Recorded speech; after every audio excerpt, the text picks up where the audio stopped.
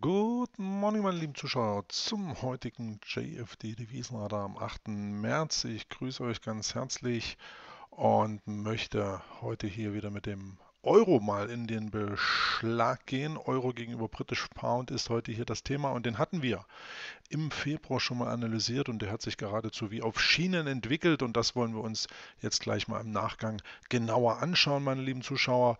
Es wird spannend, wie es denn hier weitergeht. Die charttechnische Situation auf jeden Fall hervorragend. Doch vorab noch, meine lieben Zuschauer, der kleine Hinweis. Ich sagte 8. März, ihr wisst Bescheid, was bedeutet das? 8. März steht für, ja, Frauentag, meine lieben Zuschauerinnen auch an dieser Stelle. Das beste Investment ist wahrscheinlich in euch, deswegen hier ein kleines Picture dahingehend als ähm, ja, Anstoß dessen, dass wir uns freuen, dass Sie auch hier am Tradingmarkt aktiv sind und insofern weiterhin frohes Schaffen. Und man ist ja auch bekanntermaßen sich dessen bewusst, dass die Frauen hier nicht ganz so aggressiv an den Märkten agieren und unterm Strich auch wohl die besseren Anleger sind. Das gilt es zu beweisen, wir werden es beobachten, werden es verfolgen. Ähm, letztlich gehen wir jetzt mal zu etwas hier im Kontext des Währungsmarktes und da wollen wir uns den Euro gegenüber dem britischen Pfund jetzt genauer anschauen. Wie besprochen hatten wir hier im Februar, ihr seht das hier im Stundenchart, eine positive FTSE-Vektor-Logik zum Währungspaar, ähm, wo wir schon davon ausgegangen sind, dass es hier einen Rebound geben könnte auf der Oberseite. Ähm, das war die Intraday-Perspektive, die ja etwas zögerlich, aber dann doch noch hier sehr schön Fahrt aufnahm am 24.02. Und das war dann auch der Startschuss für eine weitere Performance dazu gehen wir jetzt mal hier in den Tageschart. Sehr schön zu sehen an dieser Stelle, dass wir hier diese Support-Level aufgegeben hatten um 0,8585. Sehr schöner Horizontal-Support. Hier immer wieder tiefere Tiefs und tiefere Hochs. Das sah nicht gut aus, meine lieben Zuschauer. Das sah wirklich nicht gut aus. Aber man hat gesehen, dass es hier möglicherweise die Chance eines Rebounds gibt. Und hier ist der 24.02. Schaut euch das Video im Devisenradar-Webinar an. Nachträglich auf unserer Website auch jederzeit abrufbar. Ähm, auf unserer YouTube-Seite insbesondere oder auf unserem JFD-Desktop. Ja, können Sie, wie gesagt, immer schauen. Hier haben wir ja unseren YouTube-Channel, 24.02. Ähm, aufrufen oder dann eben hier direkt auf unserem YouTube-Channel einfach mal schauen, was da so los ist. Da gibt es täglich reichlich Content und da ruhig mal schauen, um hier auch nichts zu verpassen. Letztlich, 24.02. war der Tag der Tage und hier eben die Annahme, okay, es könnte jetzt auch mit einem guten Background ähm, nach oben gehen zunächst hier bis zum Widerstand um 0,8550. Das Level wurde auch erreicht. Und dann seht ihr hier diesen blau gestrichelten Tendenzfall nach dem Motto, also wenn es denn ja, wenn es denn kracht, dann richtig auf der Oberseite sozusagen. Und das geschah auch. Also das britische Pfund ist ja in Schieflage geraten. Auch dazu haben wir ein Video gemacht mit der Annahme, dass das britische Pfund sich wohl schwächer entwickeln dürfte. Und genauso kam es auch. Letztlich haben wir jetzt hier die Situation, da werden wir auch mal die FIBO-Levels ein Stück anpassen, ja, vom Hoch bis zum Tief.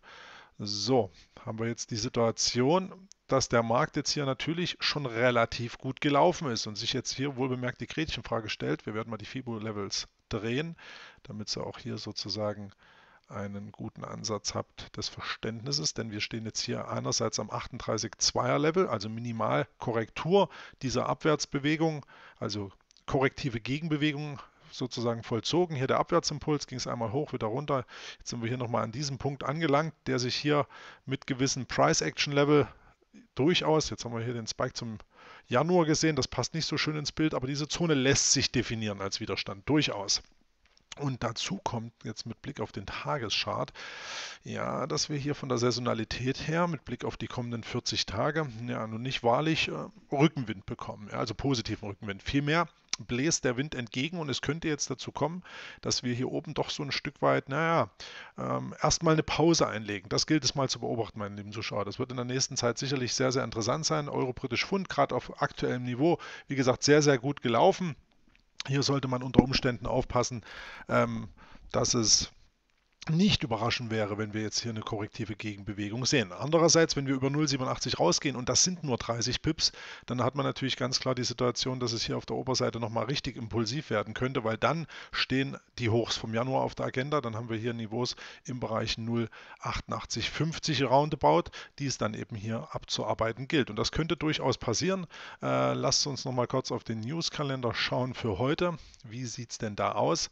Und wir haben im Prinzip zum britischen britischen Pfund heute nichts. Ihr wisst es, 10.30 Uhr ist immer ein sehr interessanter Tag, an dem es eben hier zu beobachten gilt, ob da News aus Great Britain kommen. Das hatten wir in den Vortagen alles schon erlebt.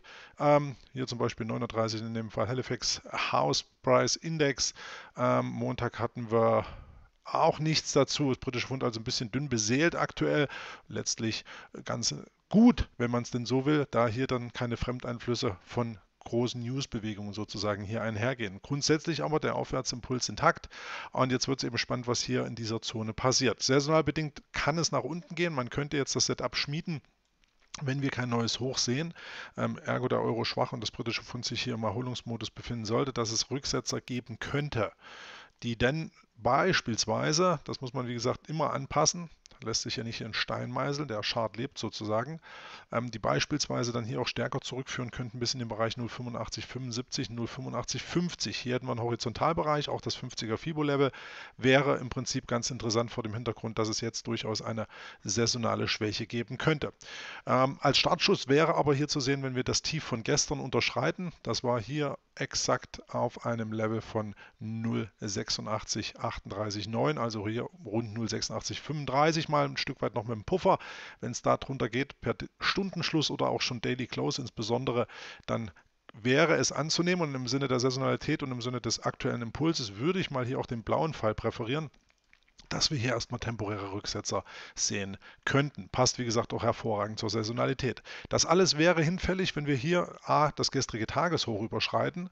Ähm, die gestrige Tagesherze ist ohnehin nicht so bullisch wirkend, aber wenn wir, sie wenn wir das Tageshoch überschreiten bei 0,86 ähm, hoch haben wir hier 83, ja, also hier die 084 oder 087er Marke als Round Number würde ich sogar noch eher als Trigger bevorzugen. Dann darf man davon ausgehen, dass es hier nochmals in Richtung 088 geht. Das wäre dann der Plan B für den Fall, dass wir hier eben tatsächlich nach oben rausziehen. Sieht wie gesagt ganz spannend aus. Euro britisch Pfund im Auge behalten. Der jüngste Erholungsimpuls hat auch das Potenzial zur Fortsetzung. Ich will jetzt hier nicht den großen Bär an die äh, Wand malen, aber aufgrund der jüngsten Zugewinne Zugewinne. Und aufgrund der Saisonalität scheint mir es doch eigentlich ganz interessant, hier möglicherweise bei einem neuen Tief ähm, ja, die Südseite zu bevorzugen. Wenn man das nochmal hier in Parameter packt, dann wäre das Stop theoretisch sage ich mal, 54 Pips entfernt. Das Währungspaar selber, wie gesagt, ohnehin nicht so volatil. Was haben wir hier im Schnitt? Eine Range von 50 Pips. Ja, da hat man hier so eine Tagesspanne als Risiko und hätte dann auf der Südseite, wenn es denn bis zum 50er Level gehen würde, beispielsweise hier in Richtung 0,8550. Ja, ein CRV von ja, nicht ganz 2 zu 1, aber auf jeden Fall akzeptabel, deutlich über 1,5, das ist gut.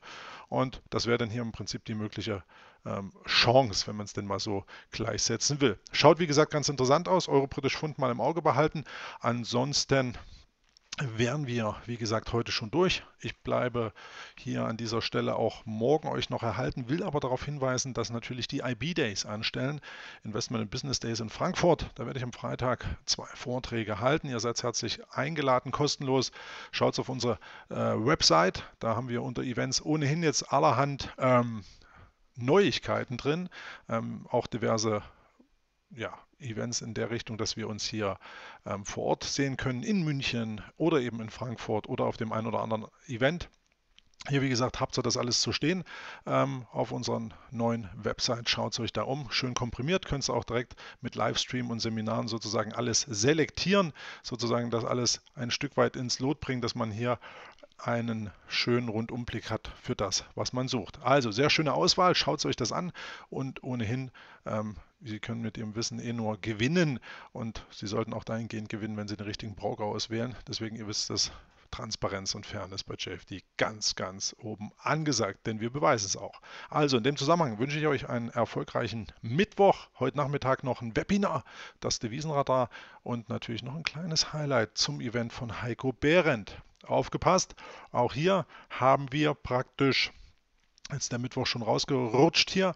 Heute ein schönes Event und zwar ist es das gesponserte Webinar zu Heiko Bär in seinem Scalp Trading. Und da gibt es auch hier die Aktion dessen, dass wir da ähm, ja, einen, eine Unterstützung, eine Begleitung vom Heiko äh, vollziehen, in dem Sinne, dass er hier auch einen, ja, einen, einen, eine selbst erlegte Messlatte in Sachen 100% in 10 Monaten auferlegt hat und das mit CFD und Index-Trading. Sehr, sehr spannend, schauen wir uns heute konkret an. Auch kostenlose Anmeldung hier unter dem Webinarkalender bei Godmode Trader möglich. Schaut's rein, kommt vorbei, ich freue mich auf euch. Bis dahin, euer Chris Kämmerer und tschüss.